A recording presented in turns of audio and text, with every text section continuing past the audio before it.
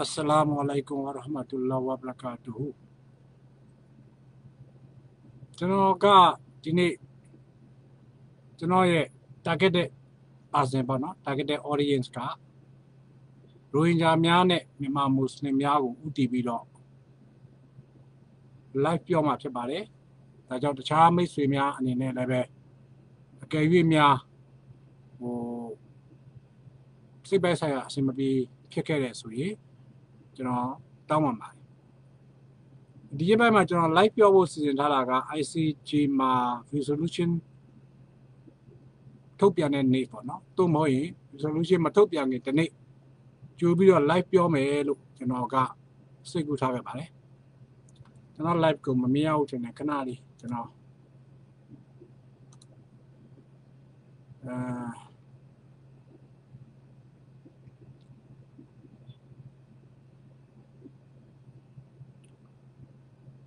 ဆိုတော့ဒီကြားထဲမှာကျွန်တော် ICJ ကိုသွားမဲ့လာမဲ့ကိစ္စတွေ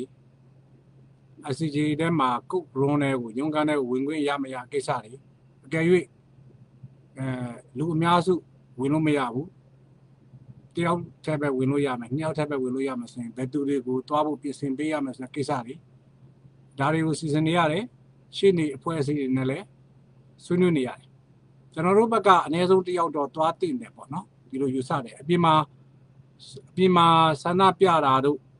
ဆန္ဒဖော်ထုတ်တာတို့အဆင့်လောက်နေရတော့ကျွန်တော်တို့ကမသွားတင်ဘူးဟိုကုတ်ရုံးတွေကိုဝင်လို့ရမှသွားတင်တယ်လို့ကျွန်တော်တို့ဆုံးဖြတ်တယ်ဒါကြောင့်ကုတ်ရုံးတွေကိုဘယ်နည်းဝင်လို့ရမလဲဒီပေါ်မှာကျွန်တော်တို့သွားဖို့စီစဉ်နေရပါတယ်ဆိုလိုတာက ကျွန်တော်တို့ US ကနေပြီးတော့အခုခက်ကာလဈေးနဲ့ပေါက်ဈေးနဲ့ပေါ့နော်သွားမယ်ဆိုရင်လူတစ်ယောက်ရဲ့ကုန်ကျစရိတ်ကအနည်းဆုံးဒေါ်လာ9000လောက်ကုန်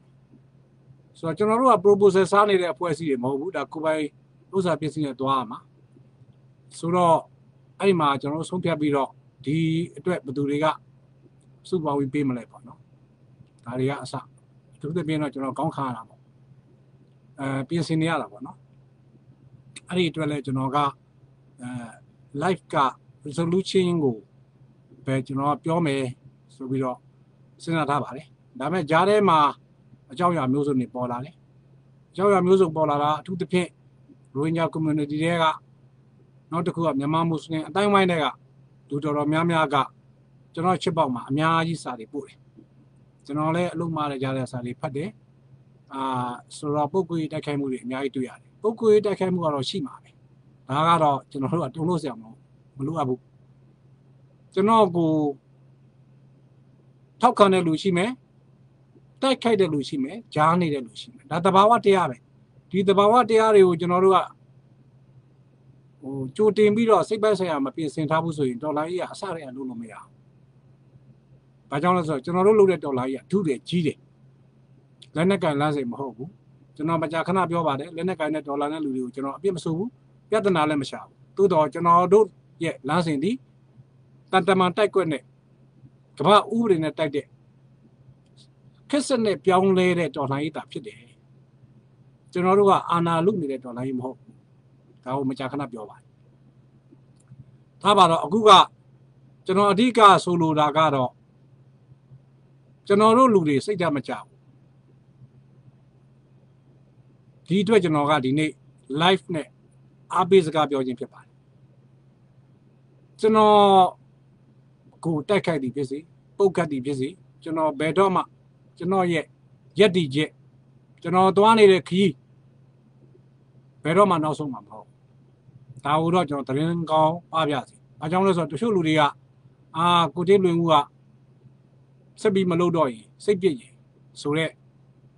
သတင်းစကားတွေကိုကြားလို့ကျွန်တော်ကပြန်ပြောခြင်းဖြစ်တယ်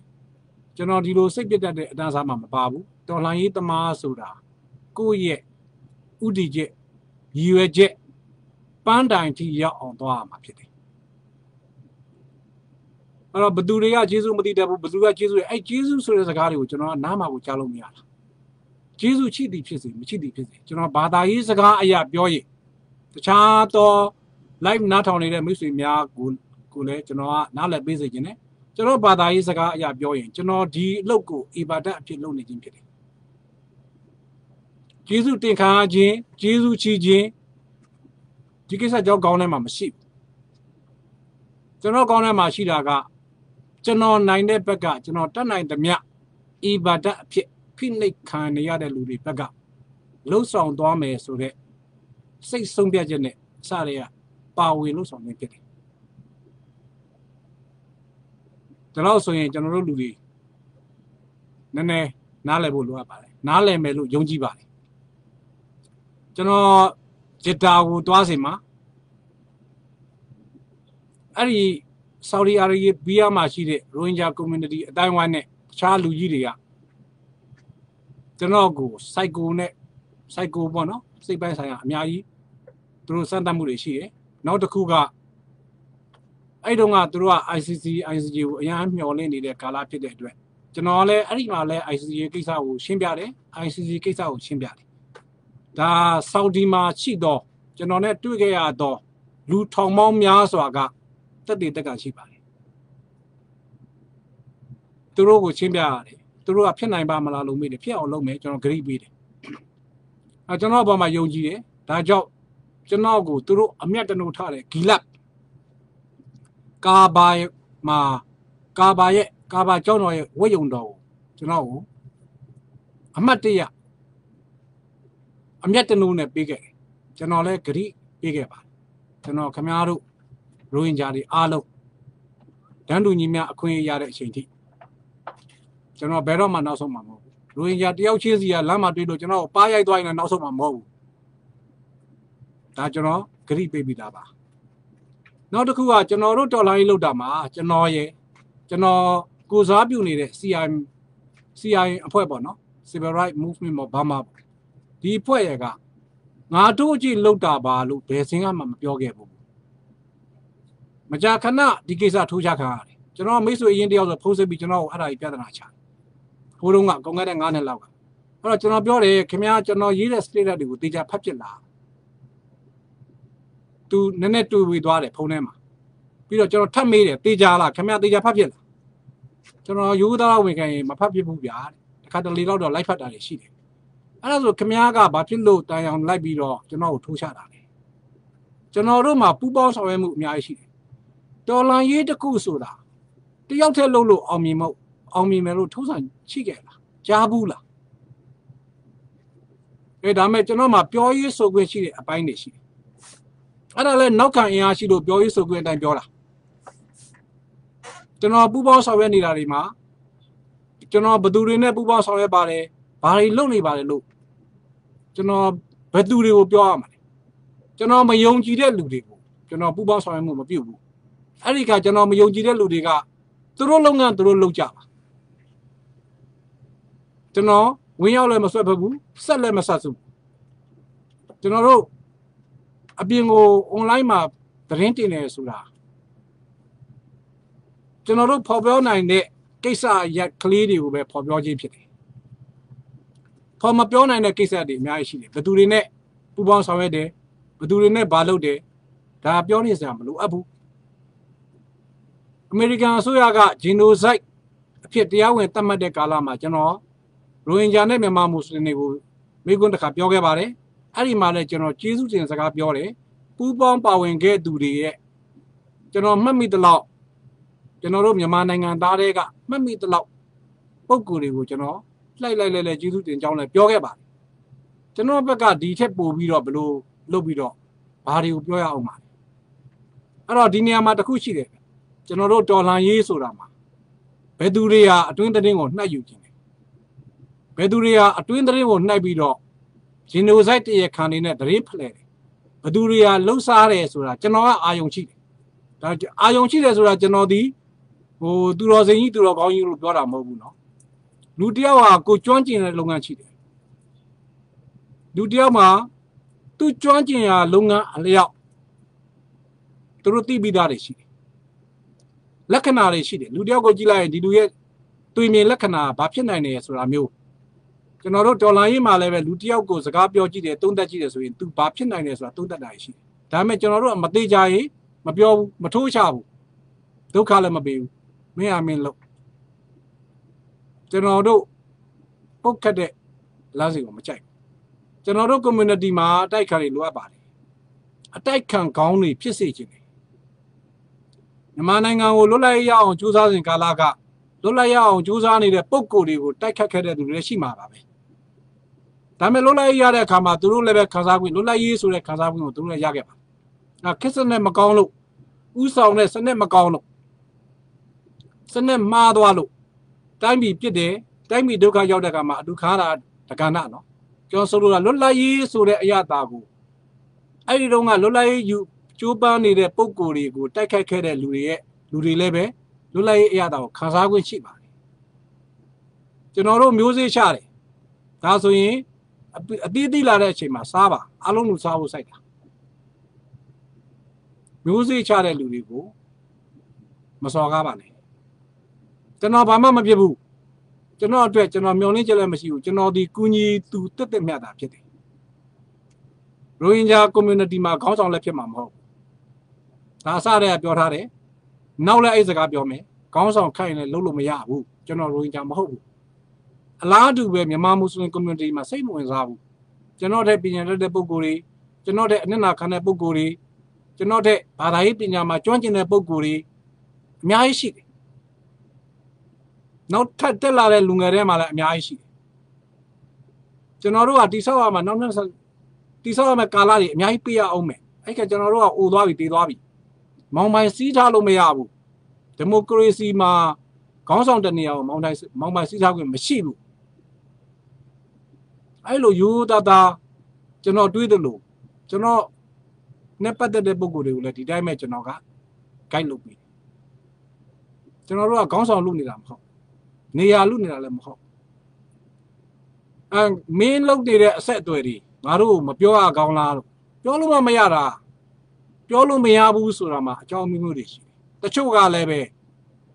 သတင်းပေးတွေရှိတယ်ဒါယူသတာ ဖော်ပြောဖို့လိုအပ်တယ်ပြည်သူလူထုစဉ်းစားလို့ရအောင်ပါဟုတ်ပြီဒီဒေါ်လာရေးလုပ်ငန်းကြီးကိုကျွန်တော်တယောက်တည်းလုပ်နေတာမဟုတ်ဘူးဆိုတာကျွန်တော်မကြာခဏပြောသလိုပူပေါင်းဆောင်ရွက်မှုတွေရှိတယ်ဆိုတာလည်းမကြာခဏပြောပါတယ်လက်ရှိလည်းပူပေါင်းဆောင်ရွက်နေတယ်ကျွန်တော်တို့ယုံကြည်ရတော့အစိတ်အပိုင်းနေပူပေါင်းဆောင်ရွက်နေတယ်ဆိုတော့စောစောကျွန်တော်စကားအစမှာပြောခဲ့သလို ICJ ကိစ္စတွားဖို့ကိစ္စမှာလည်းဘယ်သူတွားတဲ့နဲ့ဘယ်သူမတွားတဲ့ဘူးဆိုတော့ပူပေါင်းဆောင်ရွက်မှုတွေရှိတယ် အဲ့တော့လက်ရှိဒီနေ့ဒီလည်းပူပေါင်းဆောင်ရွက်တယ်နောက်ထပ်ဒီကျွန်တော် live ပြောပြီးတဲ့အခါမှာလည်းကျွန်တော်ပြောစရာစကားတွေလုပ်စရာအလုပ်တွေရှိတယ်ဒါကျွန်တော်တို့တည်တံ့လုပ်ရတဲ့အလုပ်တွေတယောက်တည်းမူးပေါ်ကကြလာတဲ့ဟိုနတ်မင်းကြီးမဟုတ်ဒါကပူပေါင်းဆောင်ရွက်မှုအစိပ်ပိုင်းကိုပြောတာပါနောက်တစ်ခုကကျွန်တော်ဂရိတွေပေးတာရှိတယ်အဲ့ဂရိကကျွန်တော်အိမ်မက်နဲ့ပေးတာမဟုတ် အဲ့ဒီဂရိစကားသည် motivation ဖြစ်တယ် predict မဟုတ်ယူလောကရေးပါလူအတိုင်းဝိုင်းတစ်ခုကသူ့ရဲ့မှောင်မိုက်နေတဲ့အခိုက်အတန့်မှာငါတို့တော့ထပ်ပေါက်မရှိတော့ဘူးဟေ့ဖြစ်နေတဲ့အချိန်မှာမင်းတို့မှထပ်ပေါက်ရှိတယ်ဆိုတော့မျှော်လင့်ချက်ပေးဖို့လိုအပ်တယ်ဒါ prediction မဟုတ်ဘူးဒါတွေကိုကျွန်တော်တို့မိတ်ဆွေတွေနားလည်ဖို့လိုအပ်တယ်ကျွန်တော်ယုံကြည်တယ်ရိုဟင်ဂျာအများစုနားလည် အဲ့တော့ကျွန်တော် ICC ကို promise ပေးတယ် promise ပေးတဲ့အတိုင်းပဲဖြစ်အောင်လုပ်ရတယ်အဲ့ဒီကာလမှာအကြီးအကျယ်ပဲဒုက္ခပေးတာမိတ်ဆွေတယောက်နဲ့တွေ့သွားတွေ့လို့ရှိရင်အဲ့မိတ်ဆွေကိုမိတ်ဆက်ခိုင်းတယ်ကျွန်တော်မိတ်ဆက်ပေးလိုက်ရင်နောက်နေ့အဖြစ်ပြောတယ်ပြစ်သွားအောင်လုပ်တယ်ငါနောက်ပိုင်းကျွန်တော်အဲ့မိတ်ဆွေတွေက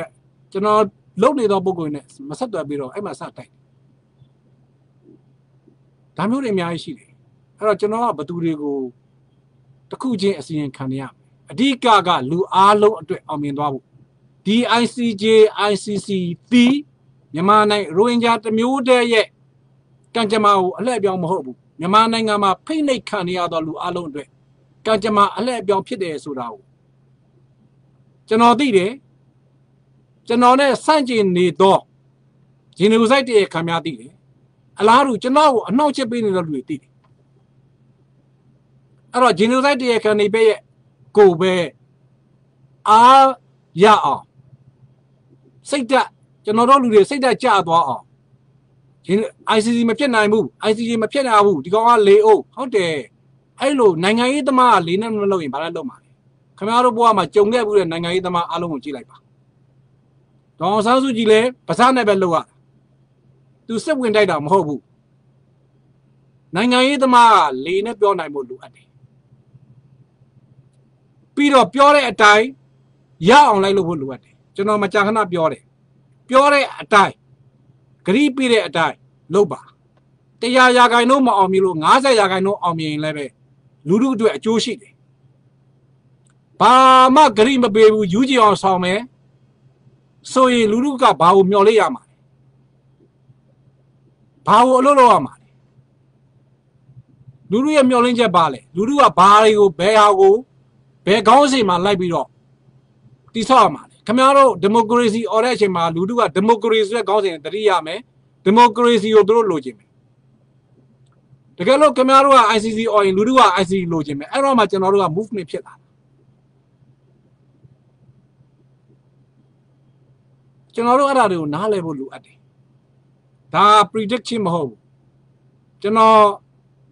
ဂတိပေးတာထဲမှာ ဂတိနောက်ကျတာတွေရှိတယ်ဒါရိုးသားသားဝန်ခံတယ်2009ခုနှစ်ကမ္ဘာခုံရုံးတည်မြန်မာနိုင်ငံနဲ့ဝင်ရမယ်ဆိုတဲ့စကားကျွန်တော်ပြောခဲ့တယ်။ငါမပြောခဲ့ပါဘူး။မဘာသာနဲ့ဆွေးနွေးတဲ့ကောင်တွေကငါတို့မဘာသာနဲ့မဆွေးနွေးရပါဘူးလို့ပြန်လိန်တယ်လို့မျိုးကျွန်တော်မလိန်ဘူး။ကျွန်တော်ဝန်ခံတယ်။ဘာကြောင့်အဲ့လိုဖြစ်တာလဲဆိုတဲ့အကြောင်းပြချက်တွေရှိတယ်။ဘာကြောင့်ကျွန်တော်အဲ့စကားပြောတာလဲဆိုတဲ့အကြောင်းပြချက်တွေရှိတယ်။ ကျွန်တော်နောက်ွယ်မှာချိတော့ policy maker ကြီးတွေကဒီတိုင်းဆုံးဖြတ်တယ်ကျွန်တော်မေးတယ်ပြောခွင့်ရှိလား yes ပြောခွင့်ရှိတယ်နောက်တစ်ချိန်မှာတမိုင်းပေါ်လာလိမ့်မယ်ပြောခွင့်ရှိလို့ပြောတယ်သူတို့ကိုယ်တိုင်လည်းပြောခိုင်းတယ်ဒါပေမဲ့ကဘာကြီးကကိုဘေးဖြစ်တယ်တကဘာလုံးရက်သွားတယ် ICJ မှာရှိနေသောအမှုတွေတောင်မှကိုဘေးကြောက် ဘယ်နှလားနောက်ဆုံးခွင့်ပြုတယ်ဘယ်နှလားနောက်ဆုံးခွင့်ပြုတယ်ဆိုတာကိုခင်ဗျားတို့အားလုံးသိနေကြအားလုံးသိနေကြတယ်ပြီးတော့နောက်ထပ်နိုင်ငံရေးကစားကွက်တွေအများကြီးရှိတယ်ကျွန်တော်နောက်ထပ်ဂရီတစ်ခုမတည်သေးတာရှိတယ်အာနာရီသိမ့်ပြီးတဲ့အခါမှာကျွန်တော်တော်လာနေတဲ့လူတွေဘက်ကခင်ဗျားတို့စိတ်ဓာတ်မကြနဲ့ AP လအတွင်းမှာအပြောင်းလဲဖြစ်မယ်လို့ပြောခဲ့တယ်ပြောင်းလဲမဖြစ်နိုင်ဘူးလို့ ကျွန်တော်သိလိုက်ရတဲ့အချိန်မှာကျွန်တော်နောက်ထပ် street တစ်ခုတင်တယ်ကျွန်တော်ပြောခဲ့သောစကားများကိုကျွန်တော်တောင်းဝင်ယူတာတာဝန်ကိုခေါင်းချောင်ပြီးတော့ထပ်ပြေးသွားတဲ့ကောင်နဲ့မပါဘူး။ဘာကြောင့်လဲဆိုတော့ကူညီခြင်းတဲ့လူကကူညီဖို့ကဘာကြီးက ready ဖြစ်တဲ့အချိန်မှာအကူညီရယူရယူလိုပဲလူတွေကအစင်းသိမဖြစ်ဘူး။ဒါတွေက တစ်ချိန်မှမှဖော်ပြောရမယ့်ကိစ္စတွေအခုချိန်မှာဖော်ပြောရင်ခင်ဗျားတို့ကဟိုလူကိုဒေါသဖြစ်မယ်ဒီလူကိုဒေါသဖြစ်မယ်လူလူရဲ့ဒေါသပြောင်းလဲသွားမယ်ကျွန်တော်တော်လိုင်းကိုဖြစ်စီရလို့ဖြစ်သွားတယ်ကျွန်တော်ကကိုကိုကလုတ်ပေးခြင်းနဲ့လုတ်ပေးလို့မရဘူးလုတ်ပေးအကူညီယူမဲ့လူက ready မဖြစ်ဘူးဆိုရင်ဒါတွေအားလုံးကနှုတ်ဆက်နေလိုက်တာကောင်းတယ်ဒါကြောင့်ကျွန်တော်နှုတ်ဆက်နေတယ်တစ်ချိန်မှာတော့လိုအပ်ရင်ပေါ့နော်ဒါခင်းချင်းပြရမယ့်ကိစ္စတွေဖြစ်တယ် ဒါတွေကိုကျွန်တော်တို့ပြည်သူလူထုကနားလည်ဖို့လိုအပ်တယ်တော်လိုင်းကြီးတစ်ခုဆိုတာဒီနေ့လုတ်ပြီးတော့မနေ့ပြန်အောင်မြင်တာမရှိဘူးအုံဖွားနဲ့အောင်မြင်သွားတဲ့နိုင်ငံကြီးမရှိဘူးအုံဖွားနဲ့ပြောင်းလဲလို့ရတဲ့စနစ်မရှိဟုတ်တယ်ခံစားနေရတဲ့လူတွေဘက်ကချက်ချင်းပြောင်းလဲခြင်း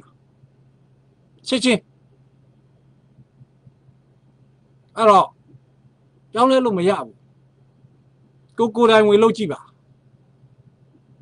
ကျွန်တော်တို့မှာအတွင်းတိုက်ခံရှိတယ်အပြင်တိုက်ခံရှိတယ်အတွင်းနောက်ချက်ရှိတယ်အပြင်နောက်ချက်ရှိတယ်အချိန်ကာလရဲ့အချိန်ကာလရဲ့လွဲချော်မှုရှိတယ်နော်သွားလာလောကကန်ရတာမှာဈေးစကကုန်ကြမှုရဲ့လွှဲချော်မှုတွေရှိတယ်ဒါပေမဲ့ကျွန်တော်တို့ကအလုပ်လုပ်နေရတယ်ဒီတစ်ခုကိုကျွန်တော်တို့ကနားလည်စေချင်တယ်နောက်တစ်ခုက proposal ကိစ္စ proposal ကိစ္စလည်းပြောဖို့လိုအပ်တယ် ကျွန်တော်တို့ proposal မစားဘူးဆိုတာလည်းပဲအကြောင်းရှိတယ်အော်အလုပ်လုပ်တဲ့လူတွေရိုးရိုးသားသားလုပ်တဲ့လူတွေမှာဈေးကုန်တယ်ဒီနေ့ကျွန်တော်တို့ ICG ကိုတွားဖို့အတွက်ပြင်ဆင်တာလူပုဂ္ဂိုလ်တယောက်တည်းအတွက်အနည်းဆုံးဒေါ်လာ9000ပြင်ဆင်ရတယ်2009ခုနှစ်မှာ ICJ ကိုသွားတဲ့အချိန်မှာဒေါ်လာ2000နဲ့လုံလောက်တယ်။နေလက်မှတ်အသွားပြန်1100လောက်ပဲရှိတယ်။ဒီနေ့လေလက်မှတ်အသွားပြန်4000ရှိတယ်။ ဟိုမှာတက်ခုတ်ကန်းကသူတယောက်တဲ့အတွက်ဒေါ်လာ9000ရှိတယ်။ဆိုတော့ကုန်ကြစိတ်ရှိအလားတူနောက်ထပ်ဘယ်ဟိုသွားမယ်ဘယ်ဟိုသွားမယ်ဘယ်ဟိုသွားခင်ဗျားတို့ဖော်ပြောတဲ့လမ်းကြောင်းရှိသလိုဖော်မပြောတဲ့လမ်းကြောင်းတွေရှိတယ်။အဲ့တော့ကုန်ကြစိတ်အတွက် proposal လိုအပ်တဲ့ဟာတွေရှိပါတယ်ကျွန်တော်မယူတော့လဲပဲတချို့ proposal ယူပြီးတော့ဗမာပြည်ထဲမှာလုပ်နေတဲ့အဖွဲ့အစည်းတွေဗမာပြည်ရဲ့နေဆက်မှာလုပ်နေတဲ့အဖွဲ့အစည်းတွေ ကျွန်တော်အပြစ်ပြောပြောခြင်းမဟုတ် proposal မရှိဘူးနောက်က support မရှိဘူးဆိုရင်အလုပ်လုပ်လို့မရဘူးအဲ့တော့ရိုးရိုးသားသား proposal နဲ့ proposal ကိုရိုးရိုးသားသားအသုံးချပြီးတော့အကျိုးဖြစ်အောင်ပုတ်အောင်လုပ်နေတဲ့ပုံကိုယ်တွေကိုကျွန်တော်တို့ကအားပေးတယ်မစော်ကားဘူးနောက်ကလည်းလှူပေးတယ်ဒါပေမဲ့ proposal ကိုအနည်းဆုံး85ရာခိုင်နှုန်းဖြတ်စားပြစ်တယ် ပြီးတော့တားမယားတွေနဲ့ပျော်ပါနေတယ်ဘီယာဝိုင်းနဲ့အရက်ဝိုင်းတွေထောင်းနေတယ်ကိုကျိုးစည်းဝါးချနေတယ်ဒီလိုလူမျိုးတွေကိုကျွန်တော်တို့ကပြောပြဖို့လိုအပ်တယ်အဲ့လိုလူမျိုးတွေမပြောပြပဲလွတ်ထားရင်တော်လိုင်းနိုင်ငံကြီးကိုလှုပ်ရှားနေတဲ့လူတွေကြောင့်တော်လိုင်းနိုင်ငံကြီးမှာယူသားစွာလုပ်နေတဲ့လူတွေထိခိုက်တယ်ဒီအတွက်ကျွန်တော်တို့ပြောဖို့လိုအပ်တာပါ နောက် proposal လာရလမ်းကြောင်းဆိုတာရှိတယ်ကျွန်တော်တို့ genocide လို့အော်တဲ့ချိန်မှာလူများစု genocide မအော်ရဲဘူးဘာကြောင့်လဲ proposal ပြမှာဆိုလို့သူ့ရဲ့နောက်ခံလမ်းကြောင်းသည်ငါတို့ကဒီပေါင်ထဲကပဲအလုပ်လုပ်ရမှာနော်ဒီထက်ကြော်ပြီးမအော်နဲ့ဆိုတော့ proposal ယူထားတဲ့လူတွေအော်လို့မရဘူး freedom fighter တွေမဟုတ်ဘူးဒါကိုလည်းလူတုက သိဖို့လိုအပ်တယ်တစ်ချိန်ချိန်မှာလည်းသိလာပါလိမ့်မယ်ခုခေတ်ကြီးက social media အင်မတန်ပြန့်နှံ့တဲ့ခေတ်တိတ်မကြခင်နောက်လင်းကားနဲ့မှဒီထက်ကြီးမားတဲ့ social media ကြီးတွေပောက်ကွဲမှုတွေဖြစ်အောင်မယ်အဲ့ဒီခါမှာဘသူတွေကလူလိန်တွေလဲဘသူတွေကလှုပ်ရှားလဲအကုန်ပေါ်ကုန်မှာဒါပေမဲ့အချက်တရားမရှိတဲ့လူတွေကတော့ဟာဟဲဟဲဟုတ်တယ်ကွာအဲ့လောက်နဲ့သူကပြီးသွားမှာသူမှအချက်တရားရှိဖို့လိုအပ်တယ်လူကုံတိတ်ခါရှိဖို့လိုအပ်ပါတယ်ဒါကြောင့် proposal တင်ပြီးတော့အလုပ်လုပ်နေတဲ့လူတွေကယူသားစွာလုပ်တဲ့အုပ်စုတွေကိုဖယ်ပြီးတော့မယိုးမသားတဲ့အကောင့်တွေကသူတို့ကြီးက proposal များဝင်လို့မလားဒီ project မှာတကယ်အလုပ်လုပ်နေတဲ့လူတွေက proposal တင်လိုက်ရင်တကယ်အလုံးမဖြစ်တဲ့အကောင်တွေက proposal တင်လို့မရတော့တက်တည်မရှိဘူးအဲ့ဒီအတွက်သူတို့ကတကယ်ယူသားဆိုတာအလုပ်လုပ်တဲ့လူတွေကိုကြောက်တယ်ကျွန်တော်တို့မလူပါ ကျွန်တော်တို့ငကိုတွေကဆုံးဖြတ်ပြီးသားကျွန်တော်တို့ဒီ proposal ပေးတော့အဖွဲ့အစည်းရဲ့ဩဇာကိုမခံယူဘူးလွတ်လပ်စွာလုပ်လို့မရဘူး proposal ပေးတော့အဖွဲ့အစည်းရဲ့ဩဇာကိုခံယူရင် genocide ဆိုတဲ့စကားလုံးထွက်လာမှာမဟုတ်ဘူးကျွန်တော်တို့မှာတက်တွေအထောက်ထားတွေအများကြီးရှိပါတယ်ကောင်းပြီ proposal ယူပြီ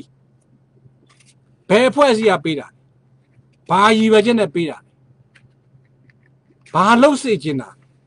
ကိုကဘာလှုပ်ဖို့တင်ပြတာဒီပေါ်မှာမူတည်ပြီးတော့ proposal ပေးခြင်းဖြစ်တယ်ကျွန်တော်တို့ခုရက်ပိုင်းမှာ ICC ICJ ရဲ့ရုံးကိုရောက်လာပြီ ICJ က resolution လောက်ရတော့မယ်အချိန်မှာကျွန်တော်ဒါဥပမာပြောတာနော်ခင်ဗျားတို့စဉ်းစားလို့ရအောင်ပြောတာ report တစ်ခုထွက်လာတယ်အဲ့ report ဒီ ကျွန်တော်တို့မွတ်စလင်အမေရိကန်အုပ်စုတွေက report ဖြစ်တယ်အဲ့ဒီအုပ်စုတွေက report ကနံပါတ်1စဉ်းစားစရာတွေအများကြီးပါလာဒီလို ICJ ရဲ့ resolution နေတဲ့အချိန်မှာမှဒီလို report မျိုးဘာကြောင့်ထွက်ရတယ်လဲအဲ့ report ရဲ့ခေါင်းစဉ်ကဘာကိုရည်ရွယ်တယ်လဲအဲ့ report ရဲ့ခေါင်းစဉ်ကရိုဟင်ဂျာများသည့်တတိယနိုင်ငံကိုတွားလိုသောဆန္ဒရှိသူများဖြစ်သည် ရိုဟင်ဂျာများရဲ့63ရာခိုင်နှုန်းသည်တတိယနိုင်ငံကိုတွားလို့သောအာသီသရှိနေတယ်ကျွန်တော်တို့ရိုးရိုးသားသားတွေးရင်တော့ကျွန်တော်တို့ဘာမှနိုင်ငံရေးအမြင်မရှိတော့တော်လိုင်းအမြင်မရှိတော့ပုံကူများအတွက်ဘာမှမဖြစ်ဘူးဒါပေမဲ့တော်လိုင်းအမြင်ရှိသောပုံကူတွေမှာမေးခွန်းတွေမေးခွန်းမေးစရာတွေအများကြီးပေါ်လာတယ်နံပါတ်1တတိယနိုင်ငံကိုတွားလို့သောပုံကူများရှိသလားဆိုတဲ့ခေါင်းစဉ်နဲ့ ဘာကြောင့်စာတမ်းပြုစုတယ်လဲစေပစုံလိုချင်သောပုံကူများရာဂိုင်နှုန်း R2B လိုချင်သောရာဂိုင်နှုန်းများဘယ်လောက်ရှိတယ်လဲဆိုတဲ့ခေါင်းစဉ်နဲ့ဘာဖြစ်လို့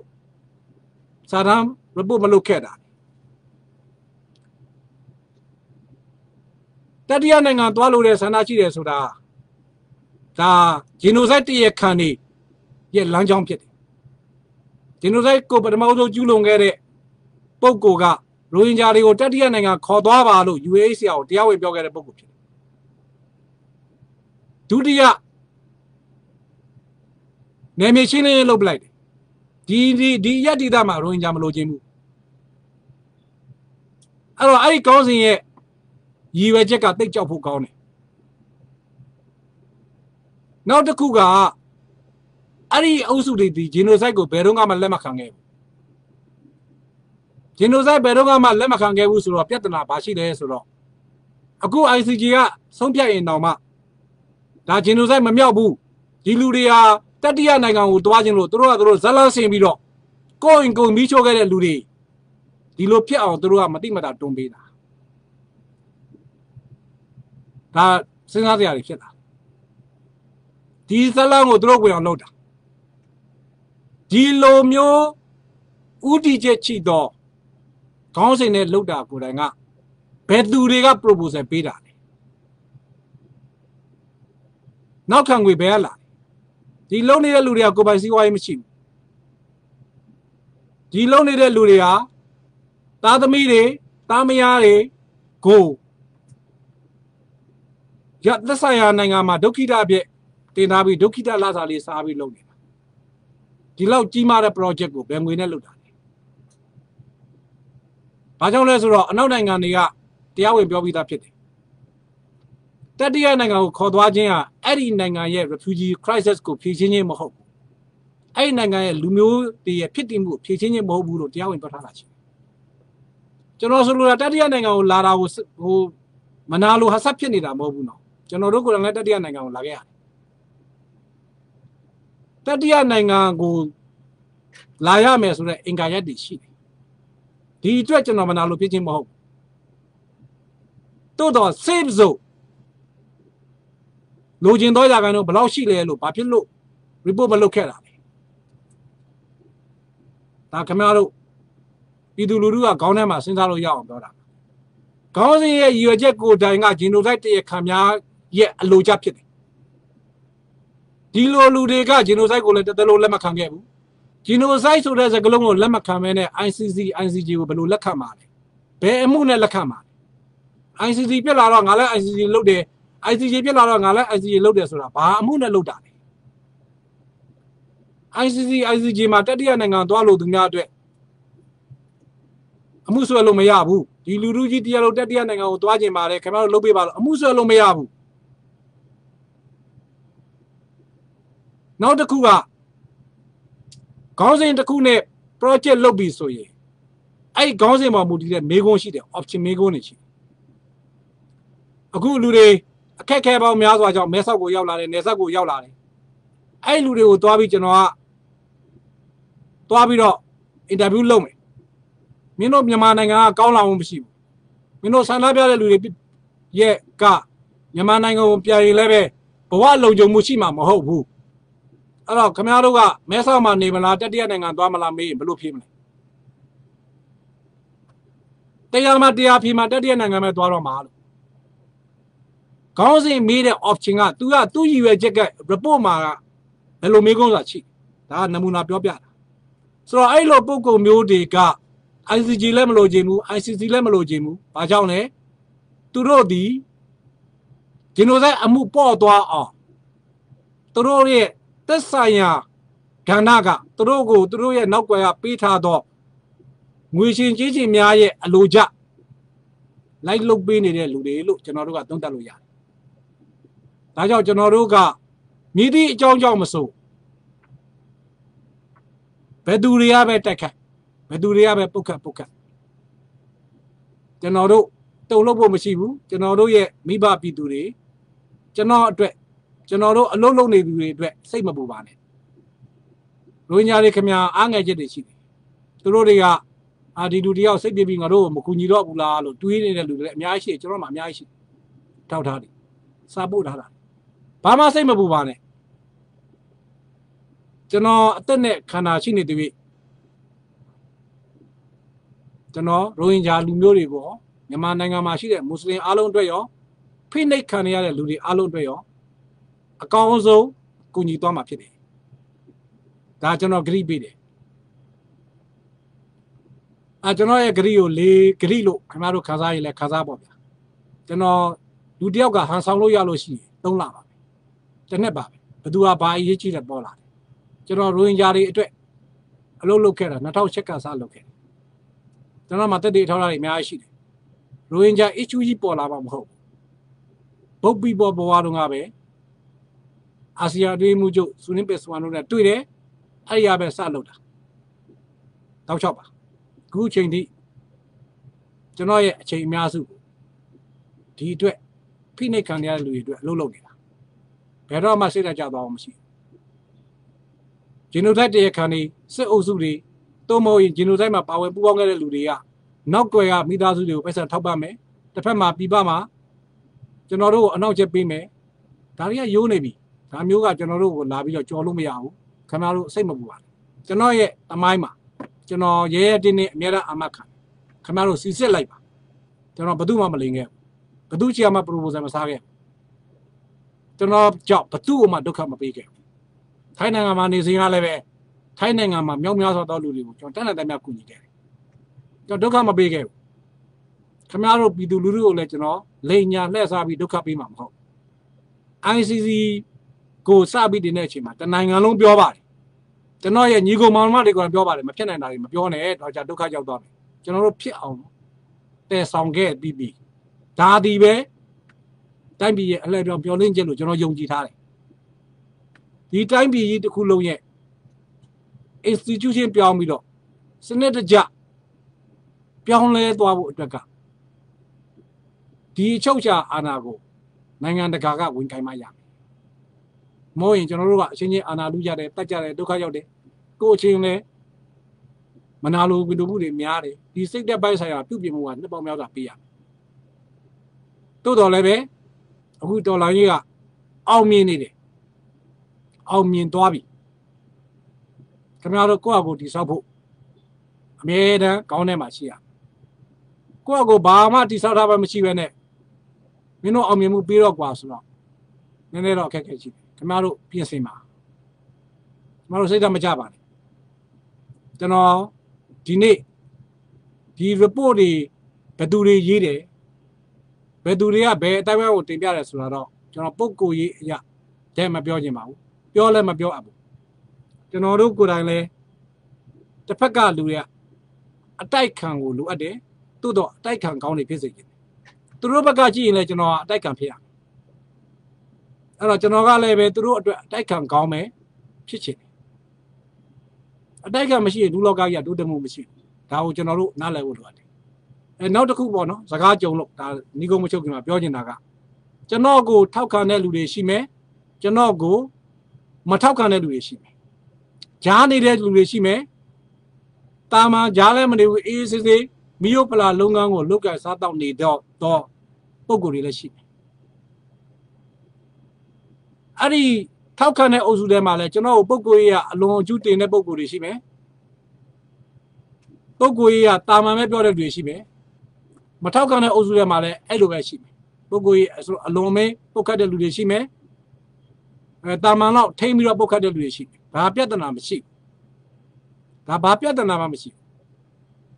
အဲ့တော့ပုဂ္ဂိုလ်ရေးအလွန်ကျူး တင်ပြီးတော့ကျွန်တော်ဘက်ကပြောပေးတဲ့လူတွေကိုကျွန်တော်ကတပည့်မွေးတယ်လို့ဘာလို့ညာလို့ရတော့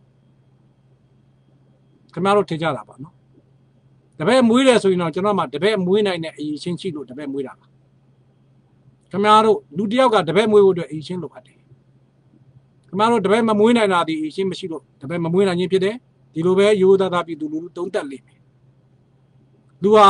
နိုင်ငံကြီးမှာတပည့်မွေးနိုင်ရင်နိုင်ငံကြီးမှာဆရာကြလို့ နွားကြောက်တာမှာတပည့်မွေးနိုင်ရင်နွားကြောက်တာမှာဆရာကြလို့ကိုဘာအရှင်းမှမရှိဘူးကိုဘာမှမတက်ဘူးကိုကိုတော်ကအီအောင်ဝါဆိုဘယ်လိုဘယ်တပည့်ကခံယူမှာလဲအီအောင်ဝါတပည့်တော့ရရရမှာဆိုတော့ဘယ်လိုနည်းနဲ့ပဲဘသူတွေကပဲပုတ်ခတ်တည်ဖြစ်စီမပုတ်ခတ်တည်ဖြစ်စီကျွန်တော်ပြည်သူလူထုကိုဂရိပေးတယ်အထူးသဖြင့်ရိုဟင်ဂျာတွေမွတ်စလင်တွေဖိနှိပ်ခံရတဲ့ပြည်သူလူထုအားလုံးအတွက်ကျွန်တော်တို့ကဒီ ICC ICJ ကိုပြီးမြောက်အောင်လုပ်တော့မှာဖြစ်တယ် ကျွန်တော်မှာပုံကိုယ်ရေးမရှိဘူးတရားခံဘသူဖြစ်တယ်ဘသူတွေကဘယ်အမှုကျူးလွန်နေဆိုတော့တရားသူကြီးတွေဆုံးဖြတ်တယ်ကျွန်တော်တို့ပုံကိုယ်ရေးအထိုးချဖို့မရှိဘူးအားကြောင့်လဲဆိုတော့ကျွန်တော်လက်ပြတတ်တယ်လက်ပြပြတ်တတ်တဲ့ဘဝကိုရက်တည်ကျင်တာဖြစ်တယ်ဒါကြောင့်လည်းပဲကျွန်တော်တို့အလုပ်ကိုကျွန်တော်တို့ဆက်လုပ်နေမှာဖြစ်တယ်လို့